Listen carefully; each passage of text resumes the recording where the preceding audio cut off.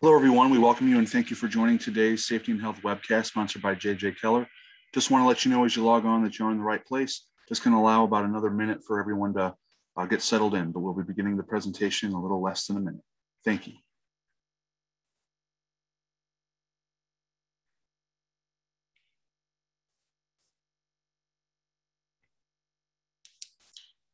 Hi, everyone. We thank you again for joining us, letting you know you're in the right place for today's webinar going to get going in about 30 seconds as a few more people uh, get settled in and logged on.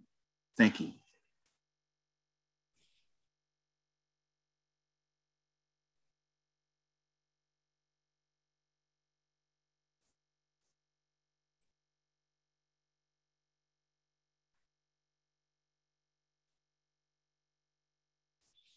Well, hello everyone, and welcome to today's Safety and Health webcast, the ins and outs of HAZCOM training what you need to know to stay in compliance, sponsored by JJ Keller. My name is Kevin Druley. I'm an associate editor with Safety and Health magazine and will be moderating today's session. Thanks for joining us. We hope you all are safe and well. In a few minutes, we'll start the presentation, but first, let's review some preliminary items. The views of today's speakers and organizations are their own and do not necessarily reflect those of the National Safety Council or Safety and Health magazine. Any mention of a commercial enterprise, product, or publication does not mean the Council or magazine endorses those items. At the end of today's webcast, we'll conduct a question and answer session. To ask a question, simply click the Q&A button at the bottom of your screen, type your question, and click the send button. Feel free to ask your question at any time during the presentation. You don't have to wait for the question and answer session to begin. We'll try to answer as many questions as possible, but because of the large number of participants today, we might not get to every question. Any unanswered questions will be forwarded along to today's speakers. At the end of the webcast, you'll be asked to complete a brief evaluation survey. I'll let you know more about that after the presentation. This webcast is archived, so you can access it after today's live event. To view this webcast and all of our past webcasts, go to safetyandhealthmagazine.com slash events. With that, let's go ahead and get started. Our speakers today are Rachel Krubsack and Derek Plowden. Rachel is an EHS editor at JJ Keller who writes a monthly newsletter on employee safety training and manages publications on hazard communication compliance and OSHA rules for general industry. Her areas of expertise include hazard communication, hearing conservation, training requirements, bloodborne pathogens, and emergency action plans. Derek is also an EHS editor at JJ Keller who manages publications such as the OSHA rules for construction activities and OSHA compliance for construction activities manuals. He also writes for the HAZ Safety Training Advisor contributes to external publications, and specializes in topics including personal protective equipment, ergonomics, and injury and illness record keeping. Rachel and Derek, we thank you for being with us today. Whenever you're ready, go ahead and take it away. Okay, thank you and welcome everyone. Today's webcast is sponsored by the JJ Keller Chemical Management Service. With this service, you can get help from JJ Keller experts to manage your chemical inventory and SDS library ensure proper labeling, and save you a lot of time, and give you the confidence that it's done right and you're in compliance. This service provides support and guidance for these core areas of your HAZCOM program. On behalf of the JJ Keller Chemical Management Service, welcome to today's webcast. Today, we'll look at the training requirements in OSHA's Hazard Communication or HAZCOM standard. But first, we'll take a brief look at how many times OSHA has cited lack of training under the HAZCOM standard and what the risks of noncompliance are. Then we'll provide a broad overview of the HAZCOM standard, who is covered and what exceptions apply. And finally, we'll delve into what's required under the standard for training. Hazard communication is always found in OSHA's top 10 list of most frequently cited serious violations. These are the numbers from 2021, where you can see that three of the top 10 serious violations are related to HAZCOM. You can see that missing or inadequate measures to provide hazard information to employees or provide proper training was the second most commonly cited HAZCOM cita violation with 550 citations. Recently, an employer in South Dakota faced penalties of over $120,000 after an employee was asphyxiated while handling liquid nitrogen, in this instance, OSHA found several violations of the HAZCOM standard, including lack of a written hazard communication program and chemical inventory, unlabeled containers of hazardous chemicals, no safety data sheets, and lack of training on chemicals, their hazards, and protective measures. When it comes to training, what are the risks of non-compliance? No one wants to be out of compliance, but if you're ever tempted to cut costs by sidetracking training, consider the consequences. If you don't provide training, you're at risk for some large OSHA fines. Training violations are typically cited as serious violations, which carry a fine of $14,000, 502 each.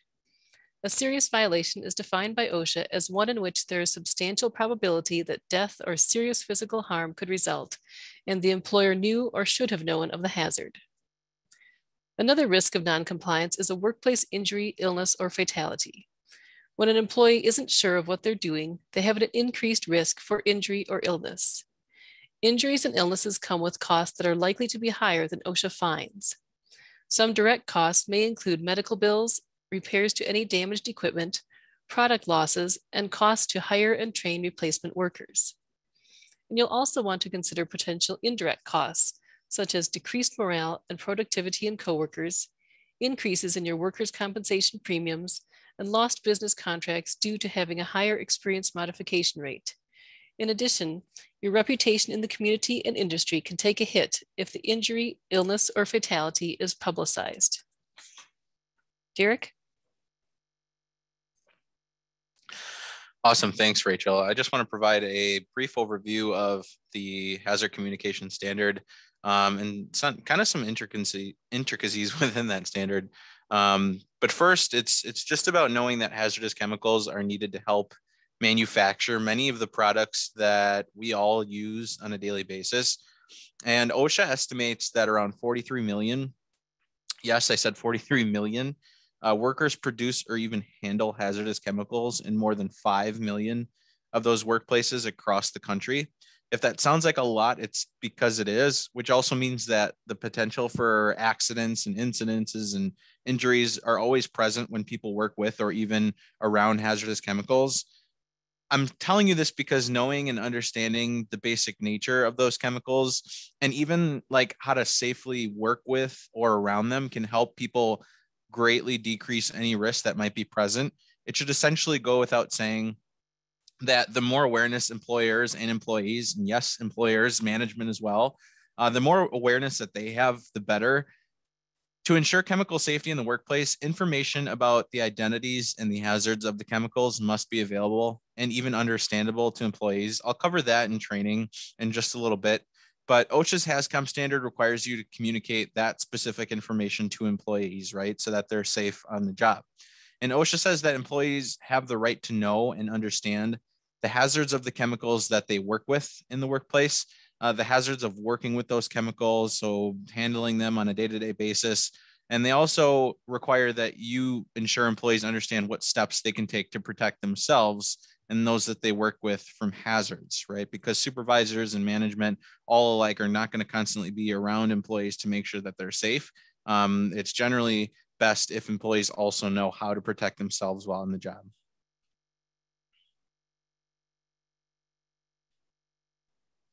Now, in order to understand the HAZCOM standard and the information and training requirements, you really need to first understand what a hazardous chemical is. The HAZCOM standard defines a hazardous chemical uh, here as any chemical which is classified as a physical hazard or even a health hazard, a simple asphyxiant, combustible dust, pyrophoric acid, or other hazard not otherwise classified. And we don't expect you to memorize that definition. I haven't memorized it myself yet, but we do want to make clear that OSHA's definition is important uh, it's essentially a guide that you can use to make clear how a chemical is defined. Whenever I feel uncertain, I always just look at the definition right away. And the same is really true for all the other definitions that OSHA provides within the standard. Now, the term health hazard and physical hazard are defined. For some of you who are wondering, that is located at 1910.1200, so 1200, 1200 paragraph C. A health hazard or physical hazard is classified as posing one of the hazardous effects listed in their respective columns, uh, which you can see here on this slide. Basically, one column has health hazards, the other has a physical hazard.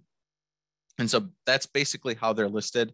Hazards refer to any inherent property of a substance that's really capable of causing an adverse effect on employees. Uh, chemical exposure can cause or contribute to many serious adverse health effects, such as cancer, um, sterility issues, are some that we've heard heart disease, lung damage, and even burns. Some chemicals are also physical hazards and have the potential to cause fires within your facility or even explosions and other dangerous incidents.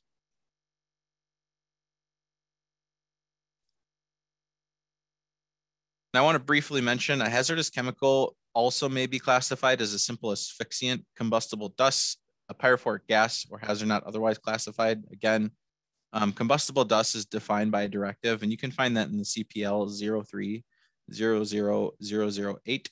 Just another thing that you want to keep in mind.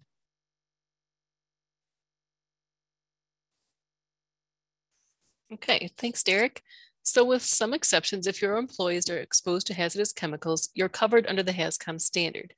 And this is the first of two slides that contain some exemptions. And let's take a closer look at some of these. So certain hazardous substances are regulated by other agencies, and therefore OSHA has exempted them from coverage by the HAZCOM standard. One of these things is articles are exempted by OSHA. The standard defines an article as a manufactured item other than a fluid or particle which is formed to a specific shape or design during manufacture, has end-use functions dependent in whole or in part upon its shape or design during end use, and must not release more than very small quantities of a hazardous chemical or pose a physical hazard or health hazard to employees under normal conditions of use. And it may be difficult to define what is considered normal conditions of use. An employer may have a manufactured item that meets the definition of an article, but if it's burned, it produces a hazardous byproduct. The question then becomes, is burning normal use for the product? If burning occurs during its normal use and more than trace amounts of a hazardous byproduct are produced, then it cannot be exempted as an article. Normal use does not include incidental exposure. And if a hazardous chemical can be expected to be released only when the item is repaired, that is not considered part of its normal condition of use. The item would then be considered an article under the standard and thus be exempted. So some examples of these would be like stainless steel tables, vinyl upholstery, and tires. So basically, if the product will be processed in some way after leaving the manufacturing site, such as heated, welded, glued, or sawed, and a hazardous chemical could be emitted, it probably will not qualify for the article exemption. We often get questions about consumer products. The HAZCOM standard does not cover consumer products such as kitchen cleanser when the products are used in the workplace in such a way that the duration and frequency of use, and therefore a person's exposure, is not greater than what the typical consumer would experience. So however, this example exemption is based on how it actually is used in the workplace rather than the chemical manufacturer's intended use of the product. For instance, if an kitchen cleanser to clean the sink in the break room twice a week, that would be considered normal consumer exposure. However, if that employee cleans all of the sinks and all of the building's break rooms every day, that would exceed normal consumer exposure and the provisions of the HAZCOM standard would apply. You also don't need to worry about the HAZCOM standard for items in first aid cabinets. Drugs intended for personal consumption by employees while they're in the workplace are exempted. If your operations and your chemicals are not entirely exempted and you're left with some covered hazardous chemicals that your employees are exposed to, you must provide training to these employees. And this applies to general industry, shipyard, marine terminals, longshoring, and construction employment. The HAZCOM standard defines exposure or exposed to mean that an employee is subjected in the course of employment to a chemical that's a physical or health hazard and includes potential that's, for example, accidental or possible exposure. Subjected in terms of health hazards includes any route of entry, for example, inhalation, ingestion, skin contact, or absorption. OSHA defines employee as any worker who may be exposed to hazardous chemicals under normal operating conditions or in foreseeable emergencies. Normal operating conditions are those which employees encounter in performing their job duties in their assigned work areas. So for example, if the receptionist in a facility receives and delivers a phone message for someone in a different work area where hazardous chemicals are present, this does not mean that the receptionist would be covered under the rule by virtue, virtue of that one potential exposure from delivering the message. However, if performance of the receptionist job entails walking through the production area every day, and thus they're potentially exposed during the performance of regular duties, that job would be covered under the standard. And as another example, a housekeeping staff member who's expected to clean up um, hazardous substances like mercury from a broken thermometer, that person also would require training. If you have some employees who are occasionally in an area where chemicals are stored or used, and you're undecided whether they're exposed, it's best to include them in your training program because really it's better to train too many workers than too few. You know, Rachel had mentioned normal employees, but when we're talking about temporary employees, things can get a little confusing because some folks don't really understand yet how to train a temp employee or who is supposed to train the temp employee. And some of you might think, well, it's just the staffing agency that has to train the employee. And some of you might think, well, it's just the host employer's responsibility, right? Because they're the ones on site and uh, understand, you know, the hazards that are in their workplace. And while that is true, training is really a shared responsibility between the staffing agency and the host employer. And in general, the staffing agency takes care of the general requirements for HAZCOM training employees on the types of chemicals they'll likely uh, encounter. So that's what I was talking about earlier when I said that the uh, host employer is generally responsible for that sort of thing. Staffing agencies can also train employees on general personal protective equipment or even PPE, including how to put the equipment on and take it off, and also how to read safety data sheets and how to read labels. And I should mention it's really important that you, the employer, and the agency communicate effectively amongst yourselves and with your employees. We've heard cases where the employee was never trained or told safety information because the agency was pointing fingers at the host employer saying they were supposed to train, and the host employer were pointing fingers at the agency saying they were supposed to train. It's really a shared responsibility again, and communication is key, not just between you and the agency, but also with the employee as well. Now, the host employer is responsible for site-specific hazards, as I had mentioned earlier. The, the chemicals that they'll work with um, and the chemicals that they'll be exposed to and any particular hazards of the job. This includes training on what to do in an emergency and how, and whether to clean up spills, where to find safety data sheets, and any other in-house labeling systems. Now, in a temporary worker initiative bulletin regarding temporary workers and HAZCOM, I wanted to read this off because it's something that OSHA actually said. They said that the host employer holds the primary responsibility for providing site specific hazard communication information and training on chemical hazards in the workplace. And that's to temp employees since the host employer uses or produces those hazardous chemicals and creates and controls the work processes that the employee will be involved in. Again, OSHA's specific words. They also say that the host employer is therefore best suited to inform employees of the chemical hazards specific to the workplace environment through site specific training. So just something to keep top of mind.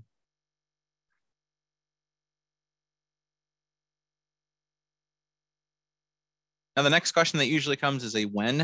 Uh, as it regards to training, employees must be trained at the time of initial assignment prior to that initial exposure to a chemical that they'll be working with. And also, of course, whenever a new chemical hazard is introduced into the workplace. There's no annual training requirement. Um, training has to be done either by an individual chemical or by categories of hazards such as flammability. If there are only a few chemicals in the workplace, then the employer may want to discuss each one individually. And of course, then there's the case where there might be a large number of chemicals or the chemical changes frequently. I know some of you may be experiencing that. You'll probably want to train generally based on the hazard categories such as flammable liquids, corrosive materials, or carcinogens. Employees will have access to that substance specific information on the label and SDS within their work areas, of course. And so the HAZCOM standard doesn't really set requirements for specific refresher training. I know I mentioned there's no annual training. Again, um, there's no specific requirements for refresher training. However, if employees are not putting into practice what was covered in training, it's time to revisit that training to ensure that you know they're safe on the job and that they understand exactly what they're doing if retraining does happen, it may not be necessary to repeat your entire HAZCOM training program. So if an employee, you know, exhibits some signs of not understanding specific training um, that you had issued earlier on within the year, uh, it's not necessary that you're going to have to retrain them specifically on everything that you train them on, but maybe one specific aspect. OSHA says that if you can document through evaluation measures that some or even most in um, knowledge and skills have been retained, there's really no need to repeat those parts of the HAZCOM training program. Again, you may only need to focus on gray areas where you're not sure employees are retaining specific information. So, for example, if employees can tell you where the hazard communication uh, program is located, then there is no need to repeat that information in training. Likewise, if they can satisfy um, your objective, specifically questions that you provide them, uh, let's say you're asking them if they know the methods and observations that they have to use to detect any presence or release of hazardous chemical in the work area. If they know the answer to that question when you give it to them, again, there's no need to go over that part of the training within your program. But of course, we want to make mention that the opposite is true if they can't explain those parts of your training confidently, right? And so when I say confidently, I mean on the spot. If you were to ask an employee um, and they kind of look a little hesitant or they're they're unsure of themselves or unsure of their answer, uh, and you can generally tell this sort of thing. Some of you might have experienced this before, um, but you can generally tell when you're like, okay, it might be time for some retraining on a specific subject. Again, if it's one specific question you ask them, you might not need to retrain them on everything. Um, so hopefully that kind of helps save you a little bit of time. But of course, be well aware of, of other aspects of your training that they might not be as comfortable with as well.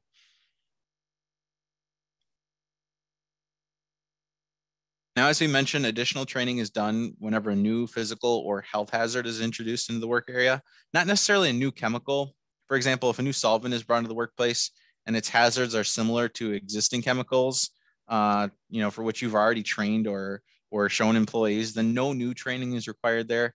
On the flip side, just as, as an example, um, if newly introduced solvent that you have in your workplace is a suspect carcinogen and there's never been one in your workplace before, then you might need new training for carcinogenic hazards.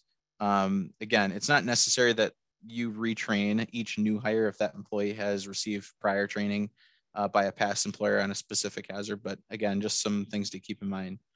Um, the standard also requires that employees be trained on the measures that they can take to protect themselves from hazards, including specific procedures that the employer has implemented, such as like work practices, even emergency procedures and personal protective equipment. So again, the employer has responsibility to evaluate an employee's level of knowledge with regard to the hazards in the workplace. And that includes the chemicals that are already there and chemicals that come in that are similar and ones that are completely different. Again, you're going to want to retrain um, and then adjust your program based on where you kind of land on that scale.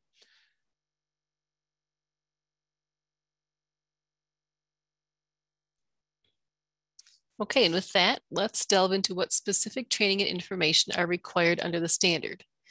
Employers must provide certain information to employees and train employees on specific topics. So let's first look at the information requirements.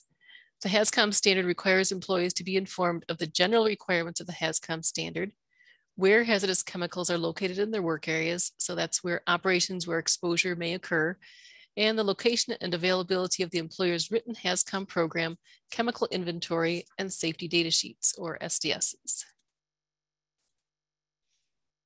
In addition to pro providing this information to workers, they must be trained on the following topics.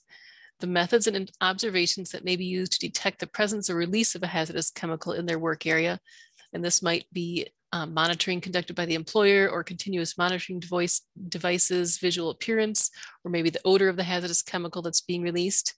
Um, they also need to be trained on the physical health, simple asphyxiation, combustible dust, and pyrophoric gas hazards, as well as any hazards not otherwise classified of the chemicals in their work area. The measures employees can take to protect themselves from these hazards, including appropriate work practices, emergency procedures, and personal protective equipment or PPE to be used. And the details of the written HAZCOM program you've developed, including an explanation of the labels received on shipped containers and the workplace labeling system you use, and that's if it's different than what's on shipped containers, and the SDS, which would include the order of the information and how employees can obtain and use the appropriate hazard information. Today's webcast is sponsored by the JJ Keller HAZCOM Chemical Safety Management Service. With this new service, get help from JJ Keller experts to manage your chemical inventory and SDS library, ensure proper labeling and compliance. We can even review and update your written hazard communication program. And last, we will provide regular reporting and communication on your HAZCOM program performance. If you'd like more information on the JJ Keller HAZCOM Chemical Management Service, let us know by selecting your interest on the poll. And as a thank you, we'll email a copy of our brand new compliance brief the top seven HAZCOM violations. And while we're waiting here for the poll, we will take one a, seed, a question here from that we've seen up on the chat. Um, do we have to provide HAZCOM training if we have fewer than 10 employees? Um, yes, basically there's not a magic number of employees that um, you have to provide training for. If you, even if you have one employee who's exposed to one hazardous chemical, you do need to provide training to that person.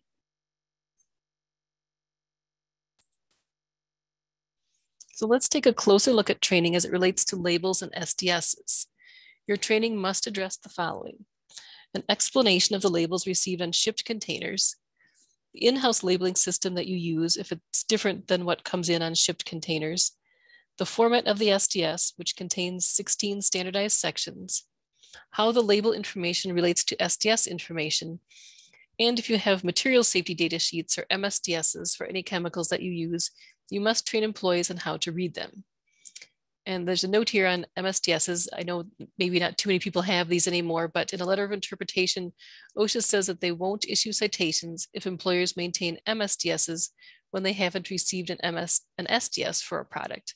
So as long as you're maintaining that most recent version of the MSDS or SDS that you've received from the chemical manufacturer, the importer or distributor, you're in compliance. The label is an immediate type of warning since it's present in the work area right on the actual container of a hazardous chemical. It's a snapshot of the hazards and protective information related to a chemical and a summary of the more detailed information that you can find on the SDS. So while labels provide important information for anyone who handles, uses, stores, and transports hazardous chemicals, they're really limited by design in the amount of information they can provide. Safety data sheets are that more complete resource for details regarding hazardous chemicals, and we're going to talk about them a little bit later in the webcast. The labels you receive on shipped containers must include the information shown on the slide, located together in the same field of view. And it's important to be sure and inform employees of what to do or who to contact if they come across an unlabeled container in the workplace.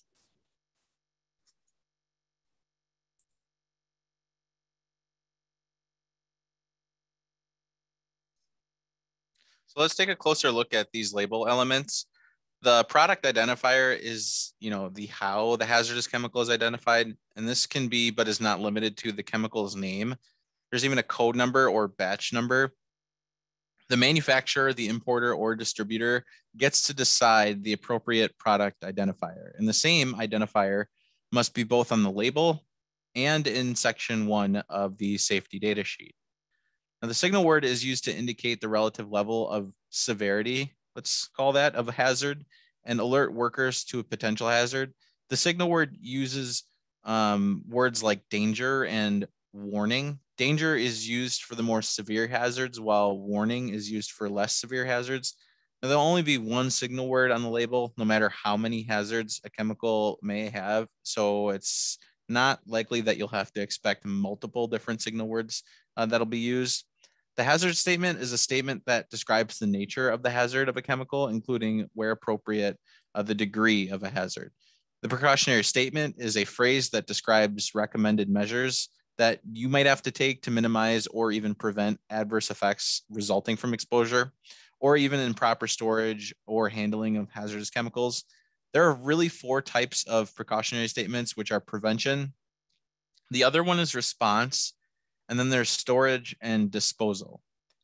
Of course, along with those pictograms, there are graphic symbols essentially that are used to convey uh, very specific information about the hazard of a chemical. Each pictogram consists of a different symbol.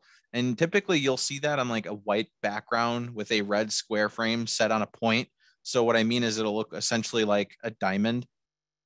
And it's actually pictured here on the slide for you. So um, yeah, again, just another thing to keep in mind that each pictogram will generally consist of a different symbol on that specific uh, background.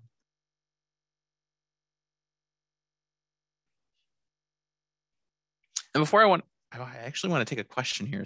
Um, so before I continue into this slide, um, and Kevin, I'm sorry, I don't mean to step on your toes here because I know we're going to have a Q&A at the end, but somebody, I was talking about training earlier and someone asked, does, doesn't OSHA require annual HAZCOM training?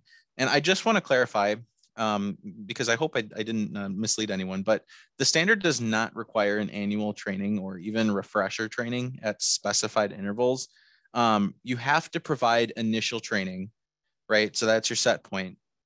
And then expect employees to remember that information, hopefully, right? Um, whether that's, you know, by way of quiz or however you decide to do that. But of course, you can't expect employees to remember information, you know, for years after you provided that training. That's not really, you know, really realistic. Um, but again, it's just that refresher training as you see fit, right? If your employees can't answer questions about training that was just previously even recently delivered, then refresher training is going to be a good idea. Um, in addition, if there are changes to your written program that would impact employees, additional training again is likely needed. So I hope that clarifies the question for you. Let's get a little in-depth on labels. The HAZCOM standard requires pictograms on labels to alert users of chemical hazards, uh, which I was talking about earlier. Each pictogram has to have a specific meaning, conveying the health and physical hazard information for a chemicals hazard class and even the category. While nine pictograms are depicted on this slide, OSHA only enforces the use of eight of them because one of them is actually uh, tailored to the environment and OSHA has no oversight of the environmental um, side that's really more EPA stuff. So eight of them that you see here are actually enforceable, not all nine. Now, if you choose to use alternative in-house labels, um, I know some of you might be doing that, such as an HMIS or NFPA, um, on any of your containers of hazardous chemicals, you must ensure that, that your training program instructs employees on how to use and even understand the alternative labeling system so that they're aware of the effects of the hazardous chemicals to which they're potentially exposed to throughout the day. Now, some options for in-house labeling include following the labeling requirements for ship containers. Uh, as we discussed earlier, however, for in-house purposes, you're not really required to include the name, address, and phone number of the responsible party on the label. Alternately, the in-house label can be just the product identifier and words, pictures, or symbols that convey the general hazard information regarding physical and health hazards of the hazardous chemical. Now, I'm not necessarily going to suggest here that you put a ton of information on there. Obviously, you want to put what's required, but it might be also best practice to include some of um, you know, the, the more detailed information so that way employees can be as safe as possible while they're working.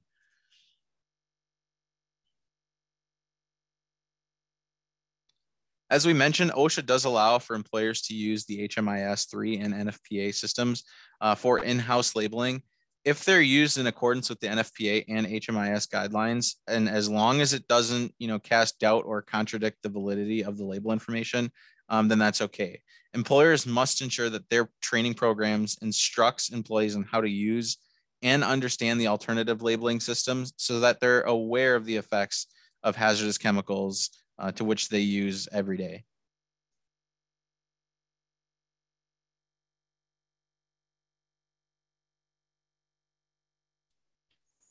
Okay, let's now let's take a look at what employees need to know about safety data sheets. The SDS contains all the elements you see on this slide. The important areas for employees to understand are the sections on what the health effects of exposure to the chemical could be. What should they watch out for? Should they suspect they've been exposed to a chemical if they have difficulty breathing or if they get a rash? Employees will learn from the SDS if the chemical requires special precautions, such as not exposing it to water or heat, or whether it can handle rough treatment. Knowing the firefighting measures is important for knowing whether a standard portable fire extinguisher will work to put out a fire involving that chemical, or if you need a certain type of extinguisher. One reason OSHA requires SDSs to be readily available and accessible to employees is so they can quickly find emergency and first aid procedures for chemical exposures to that chemical. Do they need to get the employee medical attention as soon as possible? Do they have to flush the eyes or skin for a certain amount of time? Is washing with soap and water appropriate? Knowing the recommended spill containment methods can help employees avoid injury when there's been a spill or release.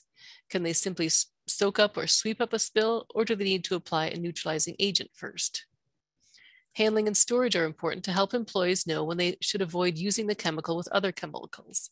So for example, an SDS for a container uh, cleaner that contains bleach will caution against using that cleaner with ammonia. The SDS will contain information on when to wear PPE and what type of PPE is appropriate. And the physical and chemical properties will tell you if the chemical is liquid, gas, or solid. Maybe what color it is, what it smells like, or if it's odorless, its pH value or flammability, that etc. And this kind of thing is important to know to see if the chemical is also covered by other OSHA standards, such as the flammable liquid standard at 1910-106. Section 10 lists the stability and reactivity. For instance, what happens if you drop a box of the chemical or if it's exposed to water or air. And note that the information found in sections 12 through 15 can be very valuable, especially when it comes time to dispose of that chemical. But OSHA does not enforce these sections. Other agencies, such as the Department of Transportation, regulate the information required to be in these sections. These sections will also let you know if the chemical falls under the reporting requirements for EPA reporting programs, such as the Toxics Release Inventory. As we mentioned earlier, employees must be informed of the location of SDSs in the workplace. They also must know what to do or who to contact if an SDS is missing. SDSs may be kept in hard copy or electronic format and must be readily accessible during each work shift to employees when they're in their work area. There must be no barrier to employer access, such as having to ask a supervisor for an SDS or keeping SDSs in a locked cabinet. And if you maintain your SDSs on a company website or um, an offsite web-based SDS service provider that provides them electronically, um, you do have to ensure a few things here. All employees have adequate access with no restrictions. Make sure there's a backup procedure or system in place in case the system is not functioning. Make sure that employees are trained on how to access the SDSs, both on the computer and your, any backup system you have and that there's a procedure or backup in place to ensure that employees can receive a hard copy if they want one and in cases of emergency. It's not acceptable to only transmit the information verbally. In the event of a medical emergency, hard copy SDSs must be immediately available to medical personnel. So there must be an adequate backup system for rapid access to SDSs in the event of power outages, equipment failures, or other system failure. The employer who brings a hazardous chemical onto a multi-employer worksite must inform the other employers of the presence of the hazardous chemical and the availability of the SDS. If an intermediary employer, such as a general contractor, provides access to the SDSs, that employer is responsible for ensuring the availability of the SDSs. If SDSs are not available because a subcontractor or immediate employer failed to make them readily accessible, that employer will be cited. For workplaces such as warehouses or retail sales, where employees do not normally open sealed containers of hazardous chemicals, that employer need only maintain the SDSs that are sent with incoming shipments. If an employee requests an SDS and it's not available, the employer must contact the manufacturer and request one. So the primary difference is that the warehouse or a hardware store does not have to maintain a complete file of safety data sheets. As we mentioned earlier, employees must be trained in the details of your written hazard communication program. So let's spend a little time going over what that means. Simply put, a written HAZCOM program is a record of how your organization will comply with the HAZCOM standard. And the HAZCOM standard requires all employers, including those on multi-employer work sites, who may expose their employees or employees of other employers, such as temporary employees or contractors, to hazardous chemicals to develop a written program. And a note here is that the written HAZCOM program requirement does not apply to, lab, apply to laboratories or operations where employees handle only sealed containers of hazardous chemicals, such as in warehouses or retail sales. Your program does not need to be lengthy or complicated, but it should provide enough details about your workplace HAZCOM training program to assess whether or not a good faith effort is being made to train workers. You may maintain the program either in paper or electronic format as long as employees have access to it upon request. If your employee's job assignment requires travel between various geographical locations, you may keep your written program at your primary work location. And finally, the program must be available upon request to not just your employees, but also their designated representatives and any OSHA officials.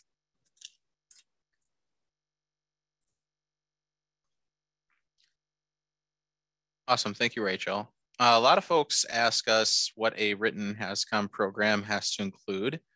And we've included it here on this slide for you. So that way you can kind of get an understanding of what your program has to address uh, in your workplace. And specifically, we're looking at labels and other forms of warning, Safety data sheets, that one kind of goes uh, without saying. Employee information, of course, training, which I'd covered earlier. The chemical inventory list, hazards of non-routine tasks, and then hazards associated with chemicals in unlabeled pipes, and then multi-employer workplaces. And so again, your written HAZCOM program has to include all of these things within it. Of course, there's going to be more detailed information within there that you're going to want to address. But with that, a lot of folks ask us how to handle HAZCOM on multi-employer workplaces. And so that's where I'll kind of focus today. Um, where there's more than one employer operating on a site, essentially, right? And employees are exposed to the chemicals used by other employers, your written HAZCOM program has to address how on-site access to SDSs will be provided to other employer, uh, other employers within that workplace. Now, you don't have to, you know, physically give the other employers the SDS, but rather you'll have to inform others of the location of where that SDS will be maintained, such as in a general employer's trailer. This sort of thing typically happens like on construction sites Second, you must address how these employers will be informed of any needed precautionary measures. And finally, you'll also have to address how the other employers will be informed of your in-house labeling system if it's different than the requirements for ship containers under that standard. And of course, OSHA allows you to decide on the method of information of exchange. There's no specific requirements on how that has to happen mainly because a lot of that is really just performance based where it's it's an act that you're performing specifically with another employer and they don't really want to muddy the waters in terms of how that communication will happen uh, each employer on a multi-employer worksite must also make a written HAZCOM program available to their own employees, whether they generate the hazard or the hazard is generated by other employers on the site. But if you have any other questions on these specific aspects of the written HAZCOM program, then please feel free to send that into the chat um, and we'll hopefully be able to get to those uh, later on. Of course, we often get questioned on who's qualified to even present HAZCOM training or if a person needs to be certified to do so.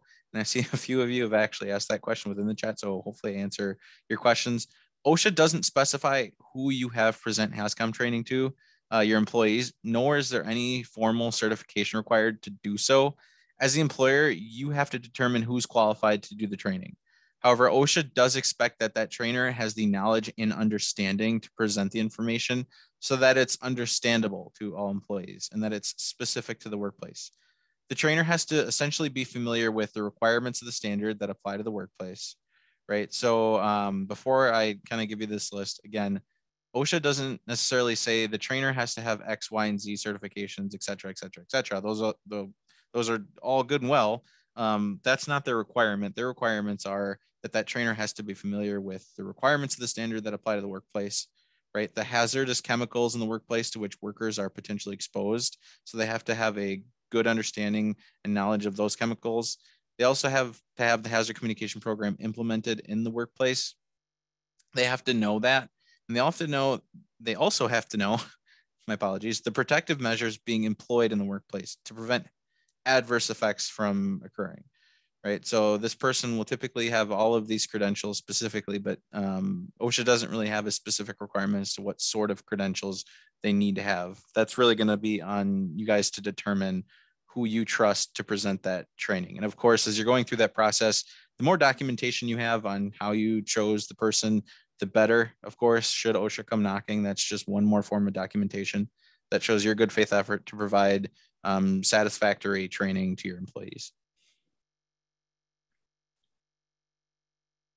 You can also provide employees information and training through whatever means are best for them, although there will always have to be some site specific training, such as informing employees of the location and availability of the written program in SDS. Any methods of presenting the material that meet the objectives can be used such as a classroom instruction or even like computer based learning that that type you know that style of learning right now is insanely popular. Keep in mind that the training must be conducted in a manner and a language that employees can easily understand. Uh, if they receive job instructions in a language other than english then the training and information to be conveyed under the standard will also need to be conducted in that same language I'll always consider the education and technical background. I can't stress this one enough of the employees to ensure that they completely understand the information being given to them. For example, if you know employees have a low literacy rate, you may consider verbal instruction as opposed to giving them documents to read. To help ensure that the information is also understood, employees must be allowed the opportunity to ask questions about any issues they do not understand. So when you're thinking about hosting that training or having a trainer come in, um, just think about the time, you know, towards the end of that that session uh, to block off so that way employees can ask questions should they be confused on anything or everything. But um, again, that kind of goes without saying. OSHA also requires that effective training, right? Effective training be provided. And by effective training, OSHA means that the information and training must provide employees with the knowledge that they need and that employees can carry that knowledge from training into their daily jobs. So again, uh, providing training specific to what they do is going to be the most helpful for them.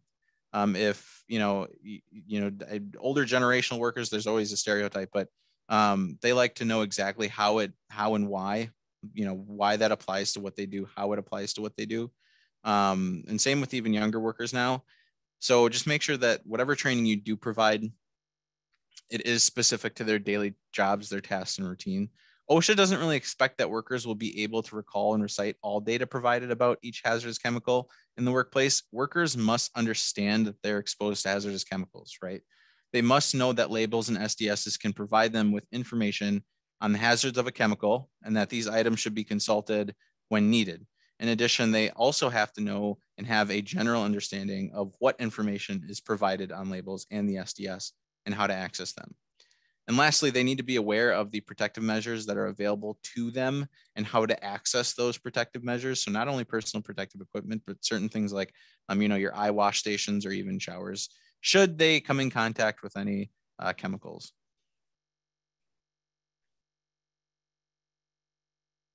Now, while OSHA doesn't require that you evaluate your training program, you may consider doing so to ensure that it's effective for your employees. Um, again, if it's it's one thing to write that program, but then it's another to actually look at it. You know, every six months to a year. Now, that's not you know required by OSHA, but it's just a kind of a good rule of thumb. Consider gathering employee feedback on the training they received, what formats work best, and the value of what they learned. This evaluation could be in the form of a sheet to be filled up by employees after their training. Again, when you take in mind that feedback from employees, they really feel included in terms of um, how you're going to structure your program. So a lot of employees might be more receptive to that specifically. Evaluation should also include observation of how the training has affected employee behavior. For example, if your employees have better compliance, you know, with use of protect with protective measures like wearing gloves, you know, when they're supposed to, this could factor into the evaluation of the program. If employees are not interested in the training as it's conducted, or they don't appear motivated and don't exhibit any sort of increased knowledge of hazards and the use of protective practices, it may be necessary to review and revise the training to achieve a better outcome. So maybe, you know, there's other things that you could be doing instead of providing, let's say like an hour long training session, maybe you can go to micro learning where you, you know, provide five minute training, you know, once every day and keep it nice and short um, and that can be done on, on a tablet, mobile device, however you want to do that. But um, that's one popular method that we've heard of. But again, whatever you can do to make sure that employees are really being receptive to the information that they're getting.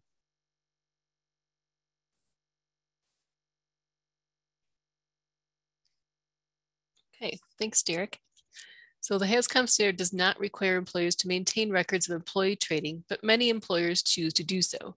This may help you monitor your own program to make sure that all your workers are appropriately trained. And also keeping records that document who was trained, when the training was conducted, and what was covered is also helpful to document compliance with OSHA's training requirement in case um, of an inspection. During an inspection, OSHA will talk to workers to determine if they received training, if they know they're exposed to hazardous chemicals, and if they know where to, to obtain substance-specific information on labels and SDSs. And OSHA doesn't expect that workers will be able to, you know, tell tell you every single tell them every single detail about chemicals in the workplace. But really, what's most important is that they understand they're exposed to hazardous chemicals. They know how to read and understand the labels, and basically have a general understanding of what information is provided in these documents and how to access these tools.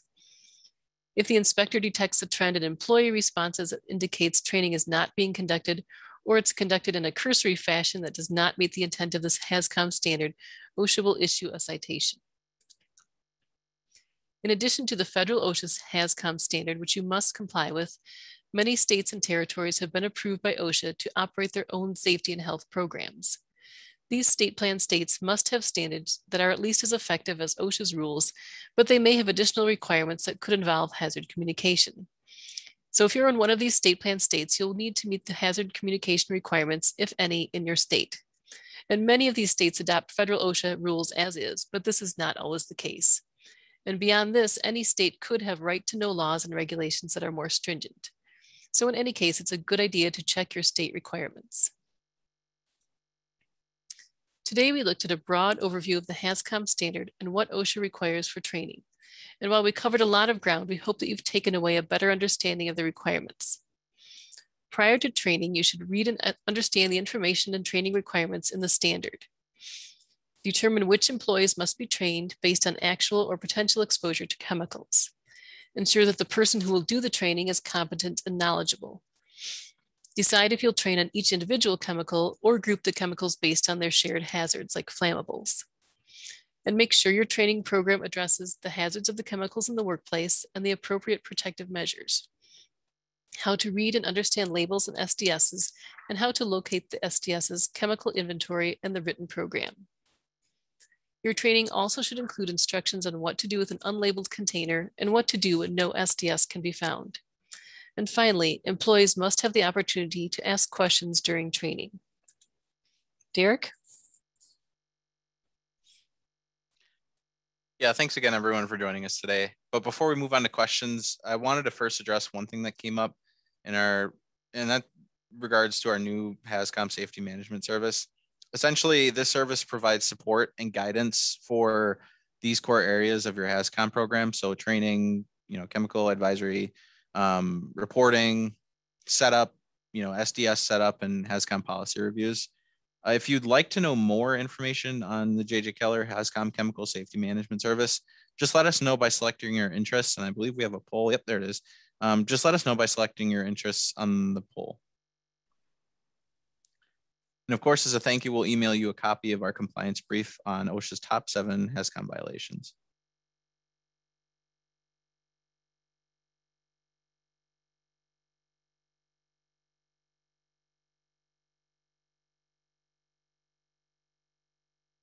Well, excellent. No, great job, Rachel and Derek. Really appreciate the time and the presentation, and we thank you for the insights and expertise.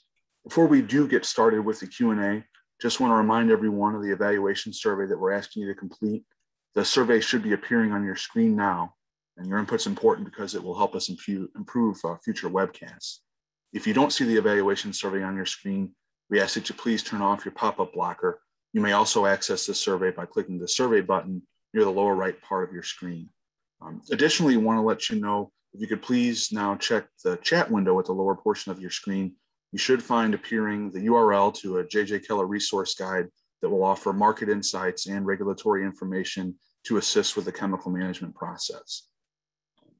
Again, getting into the, the Q&A as a reminder, and, and I know there's a lot there, but if you do wish to ask a question, simply click the Q&A button at the bottom of your screen, type your question and click the send button. And with that, we will get to some questions. First, is there a minimum number of employees for the written program requirement to kick in? No, there's no written no um, minimum number of employees for that. That basically, I guess, suppose the minimum number would be one. If you have one employee who's exposed to one hazardous chemical, you would need a written program for that. What's the best way to prepare a chemical inventory? Um, probably with that is just to survey the entire workplace and kind of maybe go by work area or um, working through the facility um, through each, maybe looking for in each closet or storage area, um, cabinets, and just work systematically through the facility, kind of noting the chemicals in all their forms and thinking about, you know, that might not just be liquids, but they could be solids, gases, vapors, fumes, or or um, mists, and also think about chemicals that might be generated during work operations like welding. Yeah, that's a good point, Rachel. I just wanted to add to Kevin before we move on that um, auditing is also a good way to make sure that you're keeping up with your chemical inventory. Um, I know this one typically falls by the wayside, typically because there's just so many chemicals that employers work with throughout, you know, a given year. And so auditing that inventory can also help you keep on top of your inventory as you get it. So just again, just a best practice to just audit as you go through. Um, consider using any inventory software. That's generally really helpful because it kind of takes the work out of your hands and lets the system maintain um, that SDS for you if you have it. So just a few other tips. Well, thank you. No, and uh, this next question sort of stays with that theme, and it's an, uh, an offshoot. And it asks, uh, how often should we update our chemical inventory? Um, OSHA doesn't have a set schedule for updating it, but um, basically, if you're, I would say if your chemicals don't change very often, then annually is probably plenty. Um, if they change more often, you may need to review it more frequently, like every few months or something, quarterly maybe. Next question, how long do we have to retain an SDS?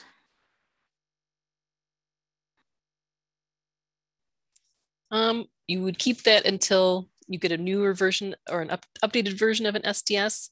Um, if you no longer use a chemical anymore, you would still need to have some uh, record of employee exposure to that chemical.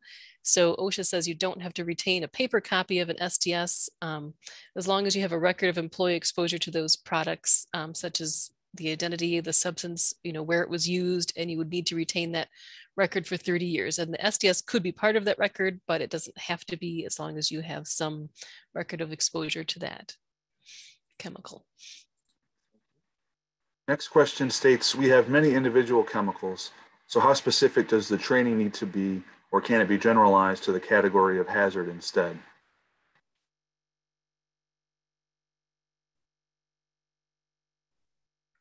Yeah, that's a really, that's actually a really tough one, Rachel. Feel free to jump in. Um, but essentially, you're going to have to make sure that you train employees based on the chemicals that they're using or the chemicals that they'll potentially be exposed to I don't believe that OSHA says you can just train generally on you know the hazards of a chemical though you know if you do i can see how that might be a little um, redundant to do that for multiple chemicals but again you're going to want to make sure that you train on every aspect of the chemical not just the hazard itself and so some chemicals might be a little different in makeup and structure so again it just is best practice and as OSHA requires to just train on specific chemicals that the employee will work with or be exposed to potentially.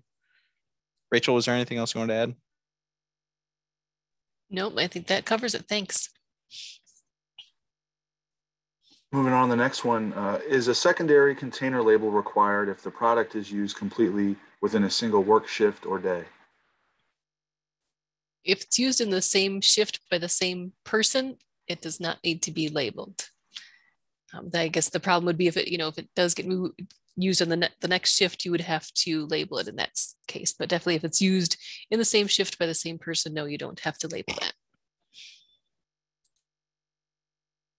Another one with SDS, I know you've covered some some facets of this. Do you have to maintain SDS binders if you use an online service for SDS inventory?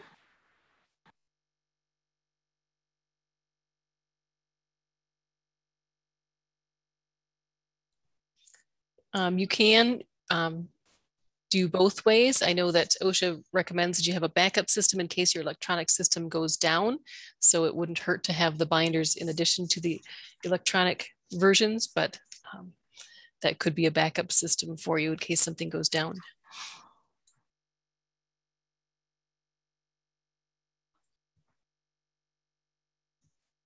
Next one just was looking, um, they admitted they kind of had, had missed part of it, but wanted to see if you might review just the definition on what is considered hazardous.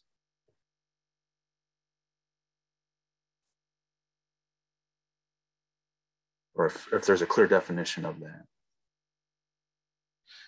Um, I, I believe so. OSHA really defines it as the hazardous chemical, and I, I went over that at the beginning, I believe. And um, a hazardous chemical, typically by OSHA, is defined in that standard as any chemical which can cause a physical or health hazard to employees.